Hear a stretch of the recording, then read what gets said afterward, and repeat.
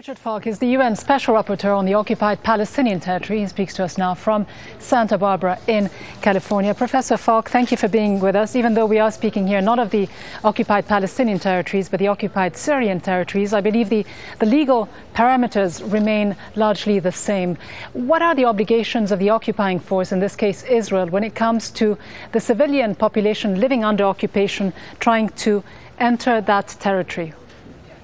The most fundamental obligation of an occupying power is to use minimum force in maintaining its security during a period of occupation. And I think that this incident again shows the Israeli disposition to maximize the use of force and to disregard its fundamental obligation uh, to avoid excessive violence in addressing an unarmed demonstration of the sort that this appears to have been. And the fact that there are UN troops there, would you say that uh, they should be investigating this incident? Yes, of course. This, this incident is again a illustration of Israeli defiance of international legal obligations, international morality, and an effort to intimidate unarmed uh, demonstrations against an unlawful and persistent, prolonged occupation. And it also involves refugees who've been living generation after generation under conditions where their rights have been completely eliminated. The, uh, the, the, Israelis call it uh, their border. In fact, it is the Alpha line, the demarcation line. Since 1974, the UN has been deployed there, as many as almost a thousand uh, peacekeepers.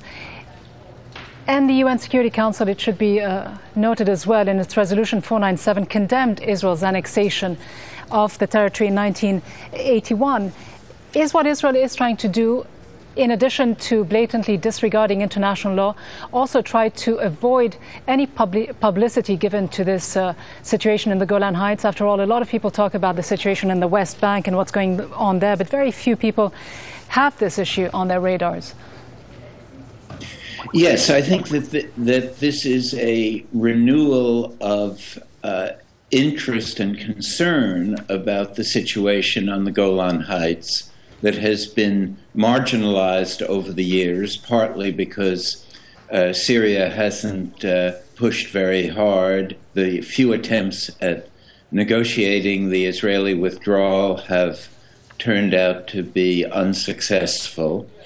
Uh, but the basic uh, message here is that the Palestinians have been re energized, I believe, by the Arab Spring and they are not prepared to be as acquiescent as they've been in recent years to the continued uh, occupation and the continued denial of their basic rights.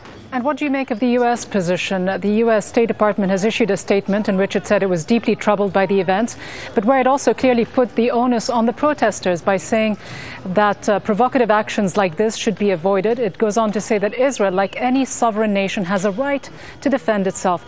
Is Israel defending itself by shooting at protesters across an occupied territory? I think it's very misleading to talk about this in terms of defense uh, Israel has demonstrated over and over again that if it wants to, it has the means to nonviolently control uh, de- angry demonstrations. It does this all the time with uh, settlers who uh, exhibit much more violence than was exhibited by these people at the border. So this was a calculated effort to uh, enforce their claim to the border by relying on uh, lethal violence against unarmed demonstrators and sends again the message to the world that Israel is not prepared to live up to its obligations under international law and that it will uh, act in a way that shows no respect for the right to life of people living under its control. Professor Richard Falk, it's uh, as always great to talk to you. Thank you very much.